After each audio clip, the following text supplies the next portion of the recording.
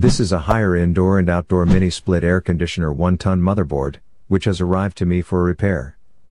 The customer told me that the F11 error code is shown on its display, and the complete unit stops working. But let me tell you that the F28 error is also displayed on this motherboard. I will tell you how to fix the motherboard from these error codes and what is the difference in these error codes. Both these error codes are almost the same. But difference technically. So try to understand it. Right now F28 is blinking on the indoor display panel. This means the outdoor motherboard will also give an error. And we must check whether the indoor and outdoor motherboards show the same problem. LED 1 is installed here, which will blink. And through this, we will have an estimation that the indoor and the outdoor motherboards have the same problem. In this situation, the LED light will pause for quite a while and then again start to blink. We will have to count how much time the LED light blinks. See, it paused for a while. I think the system has reset. So it will blink the light again. See, the indoor control board has also been reset. It has again started to show F28. Now I will count the blinks. I have counted the blinks.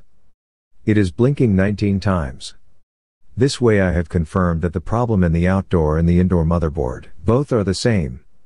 For example, if the indoor motherboard is displaying F28, and the blinks on the outdoor motherboard are different than the indoor motherboard. It means that they are not coordinating properly with one another. Or their signals are problematic. Their communication may be bad. Or this could also be possible. Whether the indoor motherboard is bad or the outdoor motherboard. So this way, we could understand that both motherboards have different types of faults. The indoor is not showing an F11 error. In the case of F11, the outdoor motherboard will blink LED light 18 times. This is how we can confirm that the problem is the same in both motherboards. In this case, we will have to check the outdoor IPM motherboard. Let me explain to you, how will it be problematic? Pass electricity through the motherboard and check whether the voltages are passing through the IPM or not. I have attached the black probe with the negative pin of the IPM. The red probe at the positive.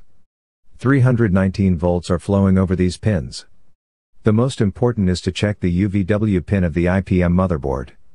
Check how many voltages are flowing through these pins. 14.11 volts are flowing through these pins. Now I will check the next pin. 14.15 volts is flowing through this pin. The last pin also has the same volts.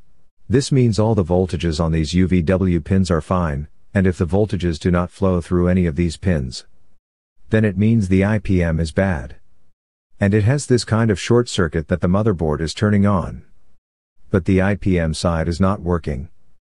Then replace the IPM and check the components in that specific area. Then hope so the circuit will work. Using the multimeter, you will also have to check the IPM without passing electricity through the motherboard. Now let me explain how the company describes this, F28 error. It means the loop of the station detect error. Let me explain what the company means by it. This means the outdoor IPM motherboard did not detect the compressor winding.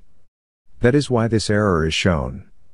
This problem can be caused if I service the unit and forget to install the compressor wire. Then this problem can be shown. The second reason could be this, I installed the compressor wires. But made a mistake with the UVW connections. Whether the connections are wrong with the compressor or the motherboard, this problem will still be shown. The third reason is that the wires burn externally, or disconnect. Still, this error F28 will be shown. Now let me tell you how the company describes the F11 error. It calls it deviate from the normal for the compressor. They said a very logical thing. I will explain its meaning in this way. The manufacturer is trying to tell us that the outdoor motherboard is attached with the compressor. The motherboard can detect the winding of the compressor, but for some reason, the motherboard cannot run the compressor. It has two reasons here. The first is that the compressor winding is so weak that it is not able to start the pump of the compressor. The second and most significant reason, in my opinion, is that when the compressor gets jammed mechanically, still, it will show the F11 error on the display motherboard. The wires of the compressor are connected electrically to the motherboard. So it is obvious when the compressor pump is jammed, it will never run. If the company would have said that the F11 shows when the compressor is jammed, it would have not considered wrong.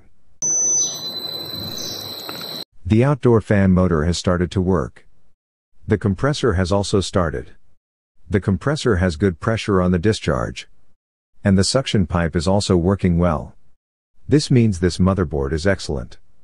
And the compressor of the unit installed in the customer's house is bad, due to which the error was shown. And I hope you got all the things I told you. Click on the left or right thumbnail to watch our next videos. And subscribe. Thank you.